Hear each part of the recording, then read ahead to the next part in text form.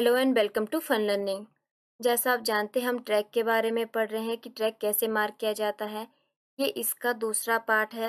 और शुरू से लेकर लास्ट तक वीडियो को पार्ट बाय पार्ट सीक्वेंस में देखिए। आपको सारी चीज़ें अच्छे से समझ में आ जाएगी। आपको ट्रैक मार्क करने में कोई भी प्रॉब्लम नहीं आएगी।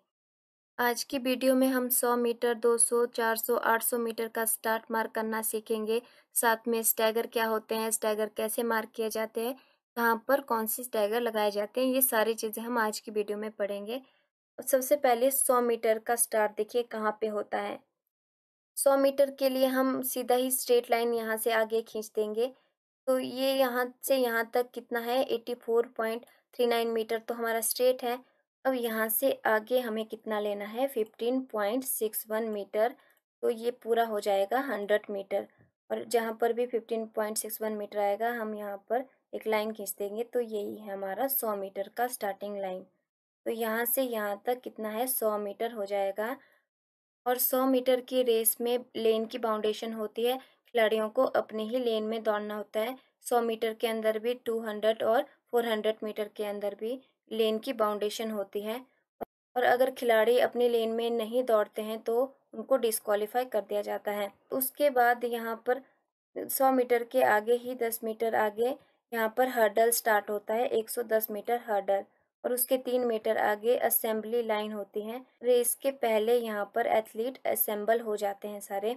जो फिनिश लाइन होती है सभी रेसेस की एक ही होती है ये वाली। और इसके अलावा यहाँ पर कई रेसेस का स्टार्ट भी होता है। जैसे 400 metre 800 metre 10,000 metre 4 into hundred and 4 into four metre relay इनका स्टार्ट भी इसी लाइन से होता है। और जो स्टार्टिंग लाइन और फिनिशिंग लाइन है, ये वाइट कलर से मार्क की जाती है। फिर है 200 मीटर का स्टार्ट अब क्योंकि 400 मीटर का ये पूरा ट्रैक है और ये वाली फिनिश लाइन है तो आधा ट्रैक कहाँ पे हो गया? यहाँ से ये दौड़ स्टार्ट होगी 200 मीटर की। 200 मीटर में भी लेन की बाउंडेशन होती है, अपनी ही लेन में इसको दौड़ना होता है। लेकिन अब यहाँ पर देखिए, क्योंकि इन्हें अपनी ही लेन में दौड़ना है, पर देखिए जो पहली लेन में खिलाड़ी दौड़ रहा है वो तो पूरा यहाँ से यहाँ तक 200 मीटर दौड़ देगा। लेकिन जो दूसरे लेन से लेकर आठवीं लेन तक के एथलीट हैं, इनको तो ज़्यादा दौड़ के आना पड़ रहा है, कर्व, क्योंकि इन्हें अपनी ही लेन में भी दौड़ना है और पूरा इनको देखिए ये कर्व जो है वो दौड़ना पड़ रहा है। तो ये इसके कंपेयर में तो ज़्यादा दौड़ रहे हैं सारे दूसरी से आठवीं लेन तक की। इसके लिए क्या किया जाता है? स्टैगर दिए जाते हैं। स्टैगर क्यों दिए जाते हैं? ताकि सभी जो एथलीट होते हैं, उनको इक्वल डिस्टेंस यहाँ पर दौड़ना पड़े। स्टैगर को हम समझेंगे। उससे पहले देखिए, हमने कहा 400 मीटर का जो ट्रैक होता है, उसकी स्टार्टिंग लाइन भी ये वाली होती है। तो एक राउंड जो है वो पूरे ट्रैक का यहाँ पर कंप्लीट करना होता है। और 400 मीटर के ट्रैक में भी अपने ही लेन में खिलाड़ियों को दौड़ना होता है। लेन की प्रतिबद्धता होती है, बाउंडेशन होती है। अब क्योंकि 400 मीटर की दौड़ में दो कर्व यहाँ पर दौड़ने पड़ते हैं तो यहाँ पर क्या होगा? फुल स्टैगर दिया जाएगा डिस्टेंस को बराबर करने के लिए और 200 मीटर में हाफ़ स्टैगर। और ये स्टैगर कैसे निकाले जाते हैं? और ये स्टैगर कितनी दूरी पे दिए जाएँगे? दूरी यानी कि जितना वो ज़्यादा दौड़ रहे हैं इस कर्व में, उतना ही आगे उनको दौड़ाया जाएगा। उसको किस तरह से कैलकुलेट करते हैं? इस तरह से देखिए, हाफ़ स्टैगर 200 मीटर के लिए 400 मीटर के लिए फुल स्टैगर। फुल स्टैगर का फार्मूला होता है W N minus one minus ten centimetre into two pi अब दो कर्व है तो टू पाए लगेगा यहाँ पर। इस फॉर्मूले में जो डब्ल्यू है, डब्ल्यू होता है विथ ऑफ़ लेन और जो एन होता है, ये नंबर ऑफ़ लेन होता है। हाफ़ स्टैगर निकालने का फार्मूला होता है W N minus one minus ten centimetre into pi एक कर्व दौड़ना पड़ रहा है तो एक पाए अब हम इस फार्मूले को निकाल के देखते हैं हाफ़ स्टैगर फ़र्स्ट लेन में तो कोई भी स्टैगर नहीं दिया जाता है, जो दूसरी लेन से होते हैं, वो स्टैगर लगते हैं। अब हम इसमें फार्मूले में वैल्यू पुट करते जाएँगे। विर्थ ऑफ़ लेन कितनी होती है? हमने बोला था लेन की विर्थ होती है one point two two metre और नंबर ऑफ़ लेन कितनी है? दो। नंबर ऑफ़ लेन यानी कि कौन सी लेन है? वो होगी यहाँ पर two minus one minus ten centimetre into pi की वैल्यू कितनी है? बाईस बटे सात। और इसको कैलकुलेट कर देंगे तो कितना निकल के आएगा? Three point five two metre. और इस तरह से हम सभी लेन्स का निकाल देंगे। सिर्फ़ क्या होगा? यहाँ पर नंबर ऑफ़ लेन चेंज होगी। तीसरी लेन है तो यहाँ तीन होगा। चौथी है तो चार, पाँच। बाकी इस तरह सारी वैल्यू भर के हम सारी कैलकुलेशन यहाँ पर निकाल देंगे। और इसी तरीके से फुल स्टैगर के अंदर इस फार्मूले में भी वैल्यू भरते जाएँगे तो सारी फुल स्टैगर की वैल्यूज़ हमारे पास निकल जाएँगी। इसमें सिर्फ़ टू पाई है यहाँ पर, देखिए, दो गुना बाई बटे सात हो जाएगा, बाकी विथ ऑफ़ लेन तो वन पॉइंट टू टू ही है। तो नंबर ऑफ़ लेन देखिए, दूसरी लेन का निकाले तो दो, तीसरी का तो तीन, चार, पाँच, इस तरह से आठ लेन तक का हम सारे फुल स्टैगर निकाल देंगे इजीली तो ये सारी वैल्यूज़ हमारे पास अगर निकल के आ गई तो उसको मार्क कैसे करेंगे स्टैगर को? 200 मीटर के स्टार्ट में हाफ़ स्टैगर देना है तो हाफ़ स्टैगर की वैल्यूज़ हमारे पास है। अब सेकेंड लेन का स्टैगर देखिए कितना है 3.52 मीटर। अब यहाँ पर देखिए सेकेंड लेन के अंदर हम क्या करेंगे 20 सेंटीमीटर का डिस्टेंस छोड़ते हुए।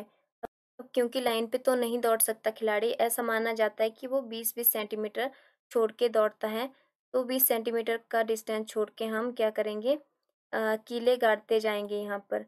हमने किले लगा दी मान लीजिए यहाँ पर हमारा आ गया कहीं पे 3.52 मीटर तो हम यहाँ सेंटर पॉइंट से एक रस्सी बिछा देंगे और जहाँ पर भी ये हमारा आ जाता है 3.52 मीटर तो वहाँ पर हम मार्क लगा देंगे।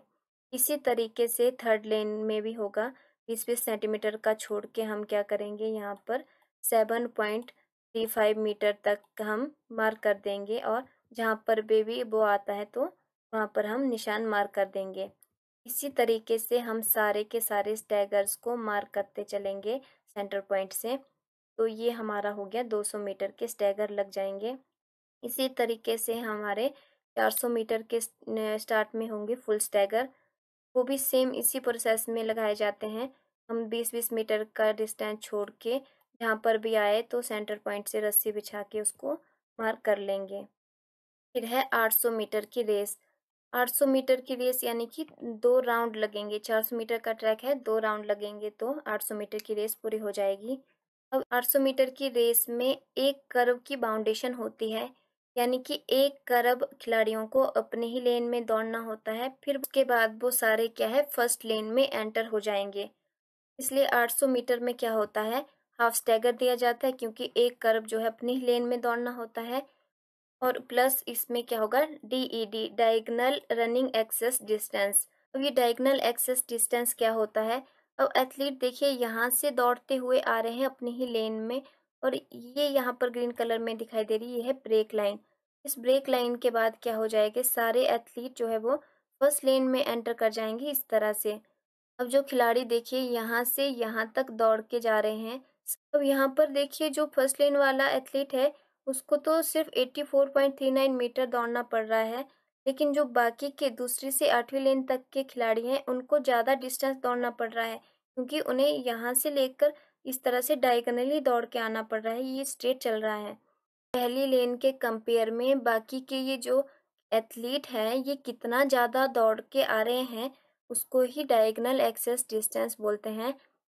और 800 मीटर के स्टैगर देने के लिए पहले हम डायगनल एक्सेस डिस्टेंस को यहाँ पर निकाल देते हैं।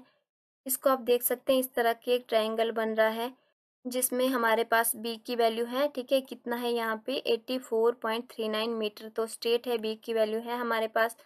परपेंडिकुलर पी हम इसको कैलकुलेट कर लेंगे, क्योंकि हमको लेन की विथ पता है कितनी है यहाँ पे। देखिए पी को कैलकुलेट कर लेते हैं परपेंडिकुलर को। अब दूसरी लेन के लिए देखिए यहाँ से यहाँ तक का डिस्टेंस हमने देखना है। इसी चीज़ को हम थोड़ा सा यहाँ पर देख लेते हैं। हमने सारे पहली लेन के कंपेयर में देखने यानी यहाँ से लेकर यहाँ तक का डिस्टेंस हमने देखना है। तो हमें लेन की वेट तो हमें पता है one point two two metre है यहाँ से यहाँ तक। और क्योंकि जब हमें पता है यहाँ पे खिलाड़ी क्या है, तीस सेंटीमीटर छोड़ के दौड़ता है तो यानी कि ये तीस सेंटीमीटर तो इसमें लेस करने पड़ेंगे। और ऐसा माना जाता है जो खिलाड़ी है दूसरी लेन के बाद वो बीस बीस सेंटीमीटर छोड़ के दौड़ेगा क्योंकि यहाँ पे रेस बॉर्डर नहीं है। तो यहाँ से यहाँ तक का डिस्टेंस हो गया बीस सेंटीमीटर। यहाँ से डाइगनली दौड़ के आएगा। तो हमारे पास यहाँ से यहाँ तक का टोटल डिस्टेंस कितना हो गया यानी परपेंडिकुलर कितना हो गया लेन टू के लिए तो, तो हम क्या कर देंगे इस one point two two metre में से तीस सेंटीमीटर हम लेस कर देंगे और बीस सेंटीमीटर हम इसमें प्लस कर देंगे। तो ये कितना निकल गया परपेंडिकुलर लेन टू के लिए? One point two two metre minus zero point three zero metre. क्योंकि ये मीटर में अगर सेंटीमीटर को करेंगे तो तीस सेंटीमीटर हो गया zero point three zero metre. तो ये टोटल कितना निकल के आ गया? One point one two metre. अब एक बार लेन टू का निकल गया तो हम इजीली इसको आगे निकाल सकते हैं सारे। अगर लेन थ्री तक का निकालना है मान लीजिए तो लेन टू का हमको पता है one point one two metre है। तो इसी में हम क्या करेंगे? One point two two metre को प्लस कर देंगे। तो ये आ गया two point three four metre. फिर इस तरह से ही सबका निकलता जाएगा। अब one point two two metre को हम प्लस करते जाएँगे। तो ये सारे एट लेन तक के हम इजीली निकाल सकते हैं। अब हमारे पास सभी लेन के परपेंडिकुलर निकल गए, पी निकल गए। पी बेस हमारे पास है eighty four point three nine metre. हमने निकालना है एच। डायगनल डिस्टेंस निकालना है जो कि पाइथागोरस से हम इजीली निकाल सकते हैं। सेकेंड लेन के लिए देखिए, अब पाइथागोरस का फार्मूला होता है H square equal to P square plus B square तो एच अगर निकालना है तो ये रूट के अंदर आ जाएगा, P square plus B square अब इसमें आगे कुछ नहीं करना, बस हमने पी और बी की वैल्यू डालनी है। पी की वैल्यू हमने अभी पहले निकाली परपेंडिकुलर की जो कि कितनी थी? One point one two metre. तो one point one two metre उसका होल स्क्वायर प्लस हमारे पास बी है eighty four point three nine metre उसका स्क्वायर और इसका स्क्वायर करें तो ये हमारे पास आ गया वन पॉइंट फोर एट और इसका स्क्वायर करें तो ये वैल्यू हमारी आती है. और अगर इन दोनों को प्लस कर दें तो ये कितना आता है? Root of seven one two three point one five और इसका रूट निकाल दें तो कितना आता है? ये आता है eighty four point three nine eight metre. यह है सेकेंड लेन के लिए डायगनल डिस्टेंस यानी कि सेकेंड लेन वाला उसको पहली लेन तक आने के लिए ये डायगनल जो डिस्टेंस दौड़ रहा है वो वो कितना दौड़ रहा है? Eighty four point three nine eight metre ये दौड़ रहा है यहाँ से यहाँ तक। और इसी तरह से इसी फॉर्मूले के द्वारा हम सभी लेंस का निकाल देंगे इजीली बस यहाँ पर क्या होगा? पी की वैल्यू चेंज होती जाएगी। जैसे सेकेंड लेन के लिए थी हमारी one point one two metre तो थर्ड लेन का निकालना होगा तो यहाँ पर कितनी आएगी? Three point five six metre, five के लिए four point seven eight metre का स्क्वेयर। ठीक है इस तरह से सारी वैल्यूज़ हमारे पास निकल जाएगी। ये जो निकला है, ये निकला है हमारा diagonal distance. Diagonal axis distance नहीं निकला है अभी, डायगनल डिस्टेंस, यानी यहाँ से यहाँ तक पहुँचने में उन्हें कितनी दूरी तय करनी पड़ी है, वो निकल के आया है अभी तक। अब डायगनल एक्सेस डिस्टेंस, यानी कि वो कितना ज़्यादा दौड़े हैं पहली लेन वाले के कंपेयर में। तो हम क्या करेंगे? जो डायगनल डिस्टेंस रहेगा सभी लेंस का, उनको क्या करेंगे? 84.39 मीटर से माइनस कर देंगे।